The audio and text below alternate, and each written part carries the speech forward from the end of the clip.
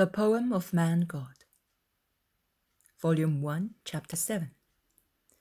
The Son has put his wisdom on his mother's lips. 29th of August, 1944. I see Anne once again. Since yesterday evening, I see her thus, sitting at the entrance of the shady pergola, busy at her needlework. She is wearing a grey sand coloured dress a very simple one and very wide, probably because of the great heat. At the end of the pergola, the mowers can be seen cutting the hay. But it cannot be first crop hay because the grapes are almost golden coloured and the fruits of a large apple tree are like shiny yellow and red wax. The cornfield is nothing but stubble with poppies waving like tiny flames and stiff and clear cornflowers shaped like stars and as blue as the eastern sky. A little Mary comes forward from the shady pergola. She is already quick and independent. Her short step is steady, and her white sandals do not stumble amongst the pebbles. Her graceful gait already resembles the slightly undulating step of a dove, and she is all white, like a little dove, in her linen dress, which stretches down to her ankles. It is a wide dress, curled at the neck by a blue ribbon, and the short sleeves show rosy and plump forearms. She looks like a little angel. Her hair is silky and honey blonde, not very curly, but gracefully wavy, ending in curls. Her eyes are sky blue. Her sweet little face is rosy and smiling. Also, the breeze that through her wide sleeves inflate the shoulders of her linen dress helps to give her the appearance of a little angel having his wings half open, ready to fly. She has in her hands poppies, cornflowers, and other flowers that grow in cornfields, but I do not know their names. She is walking, and when she is near her mother, she starts running, shouting joyfully and like a little dove, she ends her flight against her mother's knees. She has opened them to receive her. Anne has put her needlework aside so that she would not get pricked and has opened her arms to embrace her. So far, yesterday evening, this morning she reappears and continues as follows Mummy, Mummy!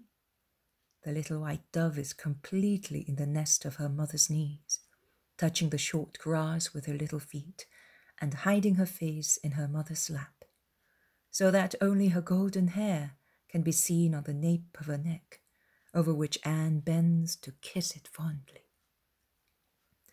Then she lifts her head and offers her mother flowers.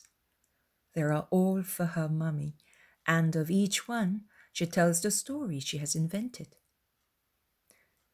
This blue and big one is a star which has come down from heaven to bring the kiss of the Lord to my mummy. Here, kiss this little celestial flower there on its heart, and you will see that it tastes of God. This other one, instead, which is a paler blue, like Daddy's eyes, has written on its leaves that Lord loves Daddy very much because he is good.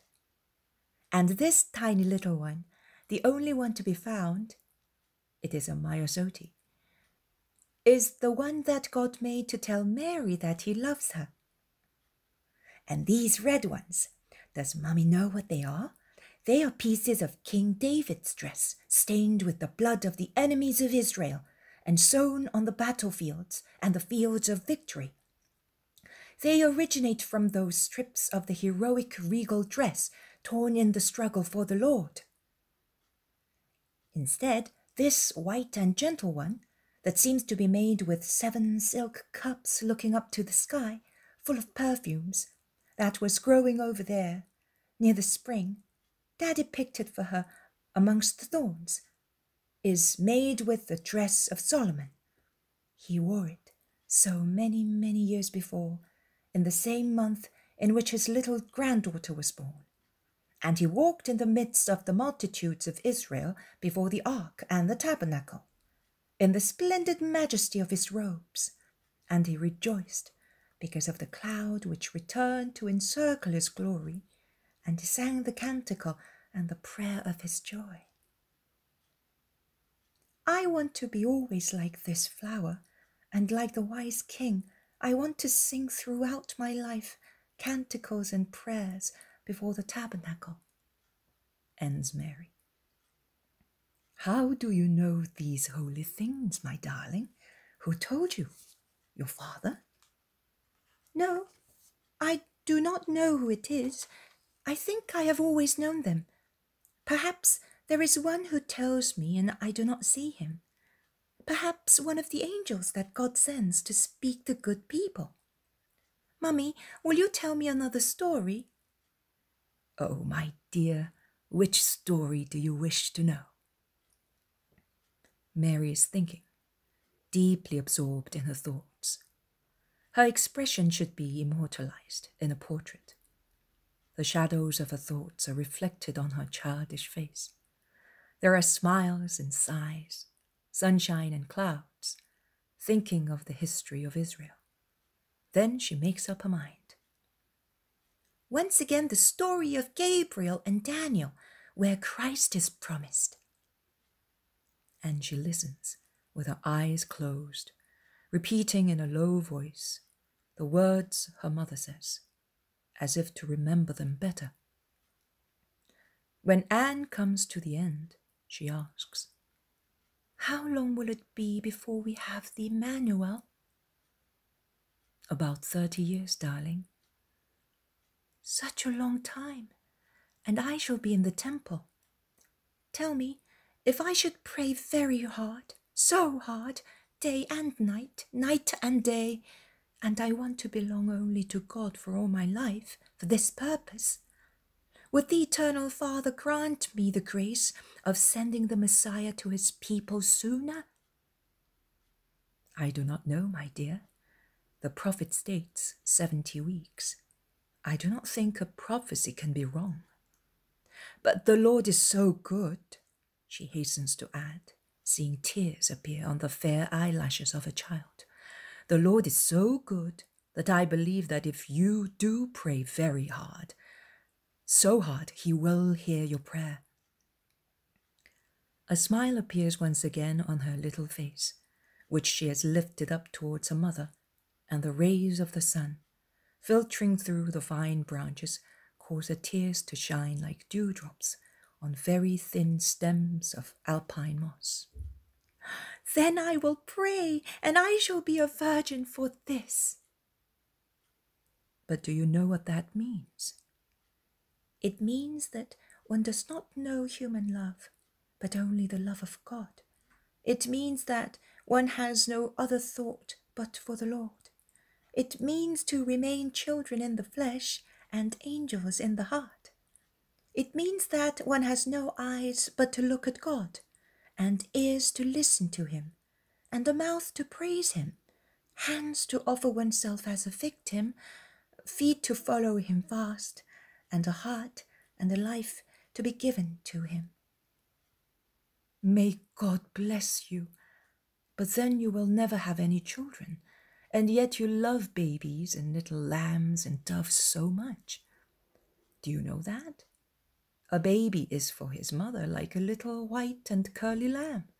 He's like a little dove with silk feathers and coral mouth to be loved and kissed and heard say, Mummy.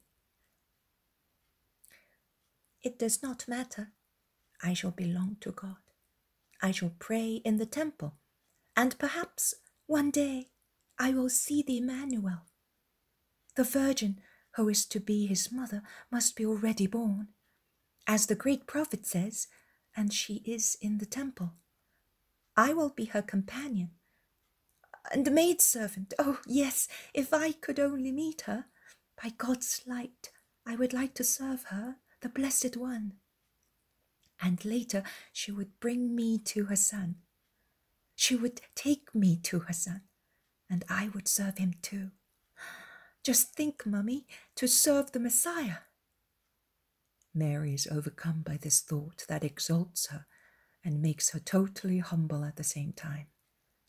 With her hands crossed over her breast and her little head slightly bent forward and flushed with emotion. She's like an infantile reproduction of the Annunciation that I saw. She resumes. But will the King of Israel, the Lord's anointed, allow me to serve him? Have no doubt about that. Does King Solomon not say, There are sixty queens and eighty concubines and countless maidens? You can see that in the king's palace there will be countless maidens serving the Lord. Oh, you can see that I must be a virgin, I must. If he wants a virgin as his mother, it means that he loves virginity above all things. I want him to love me, his maiden, because of the virginity which will make me somewhat like his beloved mother. This is what I want. I would also like to be a sinner, a big sinner. If I were not afraid of offending the Lord, tell me, Mummy, can one be a sinner out of love of God? But what are you saying, my dear? I, I don't understand you. I mean, to commit a sin in order to be loved by God, who becomes the Saviour. Who is lost is saved, isn't that so? I would like to be saved by the Saviour to receive his loving look. That is why I would like to sin, but not to commit a sin that would disgust him. How can he save me if I do not get lost? Anne is dumbfounded. She does not know what to say. Joachim helps her. He has approached them walking noiselessly on the grass behind the low hedge of vine shoots. He has saved you beforehand, because he knows that you love him and you want to love him only. So you are already redeemed, and you can be a virgin as you wish, says Joachim. Is that true, Daddy? Mary embraces his knees and looks at him with her clear blue eyes, so like her father's and so happy because of this hope she gets from her father. It is true, my darling. Look, I was just bringing you this little sparrow that at its first flight landed near the spring. I could have left it there, but its weak wings did not have enough strength to fly off again, and its tiny legs could not hold it onto the slippery moss stones. It would have fallen into the water, but I did not wait for that. I took it, and now I am giving it to you. You will do what you like with it. The fact is that it was saved before it fell into danger. God has done the same thing with you. Now tell me, Mary, have I loved the sparrow more by saving it beforehand, or would I have loved it more saving it afterwards? You have loved it now because you did not let it get hurt in the cold water. And God has loved you more because he has loved you before you sinned. And I will love him wholeheartedly, wholeheartedly. My beautiful little sparrow, I am like you. The Lord has loved us both equally by saving us. I will now rear you, and then I will let you go and you in the forest and I in the temple will sing the praises of God, and we shall say, Please send the one you promised to those who expect him. Oh, Daddy, when are you taking me to the temple? Soon, my dear. But are you not sorry to leave your father? Yes, very much. But you will come? In any case, if it did not hurt, what sacrifice would it be? And you will remember us? I always will. After the prayer for the Emmanuel, I will pray for you, that God may give you joy and a long life, until the day he becomes the Saviour. Then I will ask him to take you to the celestial Jerusalem. The vision ends with Mary tightly clasped in her father's arms. Jesus says, I can already hear the comments of the doctors with captious objections. How can a little girl, not yet three years old, speak thus? It is an exaggeration. And they do not consider that they make a monster of me by ascribing adults' actions to my own childhood. Intelligence is not given to everybody in the same way and at the same time. The Church has fixed the age of reason at six years of age, because that is the age when even a backward child can tell good from evil, at least in basically important matters. But there are children who long before that age are capable of discerning and understanding, and wanting with sufficiently developed discretion. Little Imelda Lambertini, Rosa da Viterbo, Nellie Organ, Nennolina may give you confirmation, O difficult doctors, to believe that my mother was able to think and speak like that. I have quoted four names at random amongst the thousands of holy children who populate my paradise. After reasoning as adults, for possibly more or fewer years. What is reason? A gift of God. God can therefore give it as He wishes, to whom He wishes, and when He wishes. Reason, in fact, is one of the things that makes you more like God the intelligent and reasoning spirit. Reason and intelligence were graces given to God to man in the earthly paradise. How full of life they were when grace was alive, still intact and active in the spirit of the first two parents. In the book of Jesus ben Sirach, it is stated, All wisdom is from the Lord and it is his own forever. What wisdom, therefore, would men have had had they remained children of God? The gaps in your intelligence are the natural fruits of your fall from grace and honesty. By losing grace, you banished wisdom for centuries. As a meteor which is hidden behind masses of clouds, wisdom no longer reaches you with its bright flashes, but through mist which your prevarications have rendered thicker and thicker. Then Christ came, and he restored grace, the supreme gift of the love of God. But do you know how to keep this gem clear and pure? No, you don't. When you do not crush it with your individual will in sinning, you soil it with your continuous minor faults, your weaknesses, your attachment to vice. Such attempts, even if they are not a proper marriage with the septiform vice, are a weakening of the light of grace and of its activity. And then, to weaken the magnificent light of intelligence that God had given the first parents, you have centuries and centuries of corruption which exert a harmful influence on the body and on the mind. But Mary was not only the pure, the new Eve created for the joy of God. She was the super Eve, the masterpiece of the Most High. She was the full of grace, the mother of the Word in the mind of God. Jesus ben Sirach saith, source of wisdom is the word. Will the Son, therefore, not have put his wisdom on his mother's lips?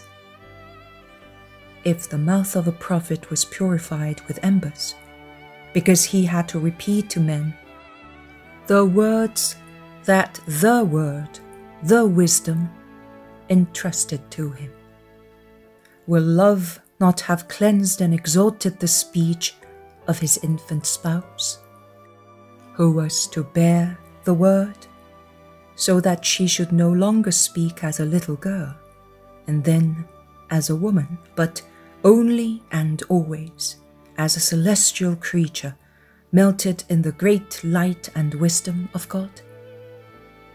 The miracle is not in the superior intelligence shown by Mary in her childhood, as afterwards it was by me. The miracle is in containing the infinite intelligence that dwelt there, within suitable bounds, so that crowds should not be startled and satanic attention should not be awakened. I will talk again on this subject, which is part of the remembrance which saints have of God.